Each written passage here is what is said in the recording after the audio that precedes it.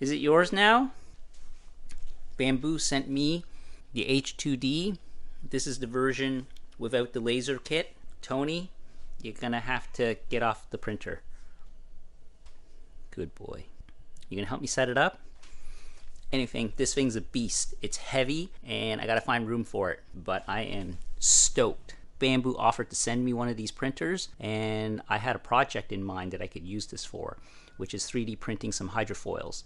Right now I'm using my Neptune 4 Plus printer because it's the only one that's tall enough, but this one, the H2D, is actually taller than my P1S and X1C, which for printing hydrofoils is way better because it's a Core XY. It doesn't get that, you know, bed slinger wobble. I jumped at the chance to have a larger build volume printer that's Core XY. And of course, just like all their other printers, it is so well packaged. FedEx dropped this off. Two guys brought it in. I would put it on par with like Apple level packaging. I figured it'd be funny just to put for scale how big the printer box came shipped in next to the stove. Like look at the size of this thing. It is big. Just keep that in mind if you're going to get this printer. Like I'm not going to do an unboxing of this, but of course this nosy Nelly decides to get hair all inside the printer. Why? If there's hair in my prints, it's because of you. So over here on my print farm, because I got my X1C, my AMS is set up in a top and bottom configuration. I love this. Such a handy way of accessing the filament. P1S here. This is where my Neptune 4 Plus is, and it's what's the only one that has the tall enough gantry or print volume that I can print off the hydrofoil wings. Now, with the H2D, I'm going to be able to print these off. Don't get me wrong, this printer, for the price, excellent printer, but it's definitely not to the level of quality of the Bambu printers, specifically the Core XY, because as the print starts getting taller, there's more wobble introduced, and you get ringing and artifacts. I don't know if you can really see it because on the white filament on the camera it's a little hard to see.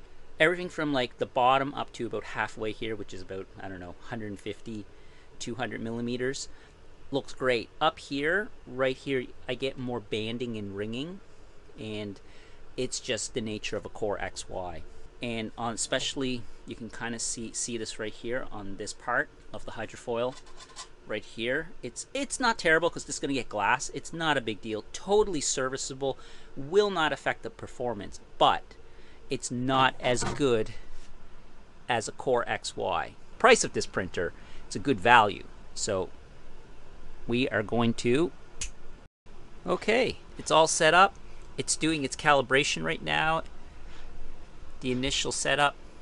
Have to say, Bambu does a fantastic job on guiding you through. You know, check out other people's videos. This isn't going to be a review video, and I don't plan on really doing a review video. I'm going to use this printer to make stuff and see how it works out compared to all my other printers. But I expect that this should work as well or better than my other Bambu printers. I want to see how well it works. Print quality, speed, those are the things I care about. Oh, and ease of use, of course.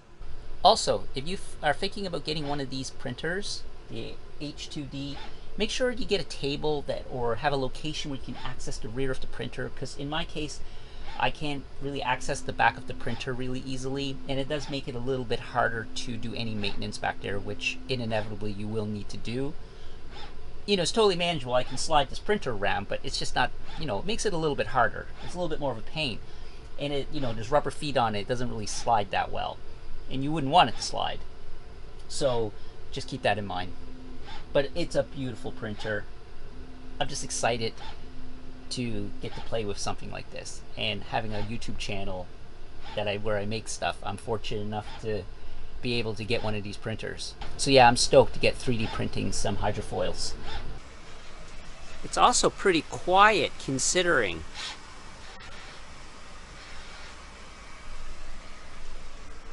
I noticed that the camera is vastly improved as well. I unboxed this printer and put it straight to work. I need to print off an FCS2 Finbox jig, router jig for someone. Summer's here, I gotta get printing on those hydrofoils and then get them glassed so I can try them out.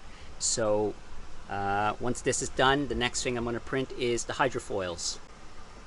I'm not doing any testing. This machine is going straight into production. This came out beautiful. Surface finish is really nice on it. Now let's print some hydrofoils. Alright, I'm slicing it. I'm going to print both of the middle sections at the same time. It's going to be a long print, long enough. Well, it's 13 hours. It's not that long. Uh, and we'll see how it goes. Hopefully no ringing. And away we go. I like that it has auto bed leveling with auto and yeah, a lot of it. I am going to turn on the time lapse. Oh, I need to insert an SD card first. Cool. The printer doesn't take an SD card. At least I didn't see one. It takes a USB stick. Now we can turn on the time lapse. Send the print.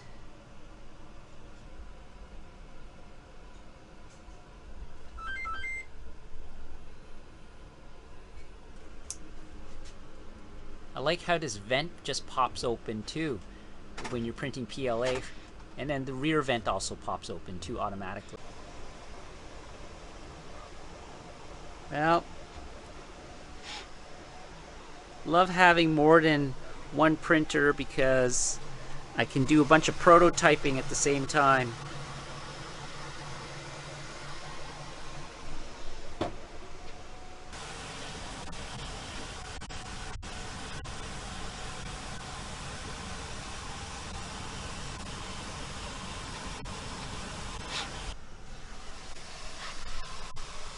Ooh, the prints are beautiful. Although the USB stick seems to have run out of memory, and I guess I should have checked it before using it. I'll do that next time.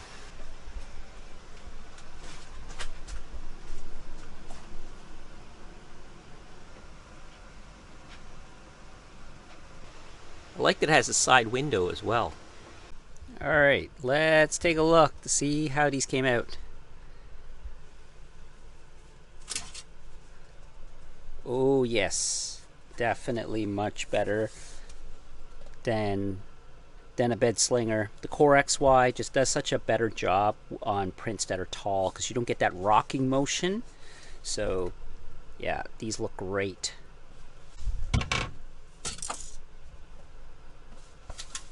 Same on the right side. Looks fantastic. The other thing that's cool is this LED bar here shows the progress of the print. So if it's three quarters of the way done, the light will be lit up three quarters of the way. That way if you're across on the other side of the room, you can just glance at it and just see. Alright, this is for a different project. This is for the boogie, the toe boogie. Okay, I got the wings, the wingtips printing over here. What I love about having multiple printers is that then I can be prototyping on the other ones because if I design and then I need to print something if I have one printer running I gotta wait until it finishes. Even though these are small parts I could print them all off on one print bed uh, they're all gonna finish at different times and I need to adjust my prototyping as I'm doing it. This is to be a mount for the brushless motor. But just look at the difference in lighting Look how good the lighting on the H2D is compared to the P1S and the X1C. Now, these are tinted, but even so, the lighting is just so much better. I mentioned that on previous older printers as well that weren't Bambu. Anytime that the printer had good lighting, like Chef's Kiss. I also like on the AMS2 that it lights up on the, the roll that's being used on the spool. Whereas over here, you just have a blinking light of the spool that's being used. And also these ceramic upgraded filament uh, slots, inserts. Oh yeah, very much like that. They just took the AMS system and then they just drastically improved it, although it's a pricey piece of kit. And I mostly, I don't do a lot of multicolor printing. I mostly print single color, mostly white and black actually. That's why over here, if you look, my AMSs are just black and white because it's just easier for the type of functional prints I do. Although I do have all kinds of color filament everywhere. I love looking at this tool head. It's so cool. Well, there's my print farm. All Bambu now. All right, I'm going to end the video here, but I want to quickly show you the functional prints of the wings that I've done on the H2D already. They're beautiful. I really like them. Great quality coming off the machine. I like that I could print this whole wing assembly off in one go. Something I want to point out, the benefit of having uh, a chamber that is, well, it is a heated chamber, but printing PLA, I don't need that, is between the wing tips here. It's a perfect fit. There's no gap. Whereas, so this one's printed on the H2D. This identical wing is printed, and I showed you earlier, there's some banding here too because of the nature of a bed slinger instead of a Core XY. This wing here has a big gap. So on either side, there's like a gap here, and you can see the play, and it's totally fine. This was printed on the Neptune 4 Plus. Totally serviceable because this is going to get filled in with glass anyway. And I've been experimenting with how the mounting holes will work. So this right here, I've left three big holes here for the mounting screws, and this is for an axis mount.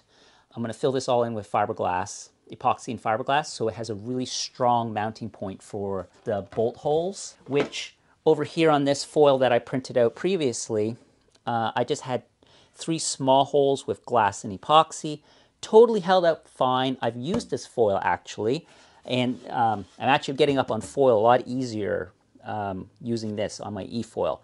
So I'm really excited to experiment and do some more prototyping of these. I will eventually post this foil here. This is kind of a replica of an Axis 1150 PNG. And I have been experimenting as well with different ways to glass that bolt section for additional strength where the attachment to the fuselage happens. And again, this one was printed on the Neptune and you can just see the gap at the top and the bottom, whereas in an enclosed printer, there's less change in temperature over time.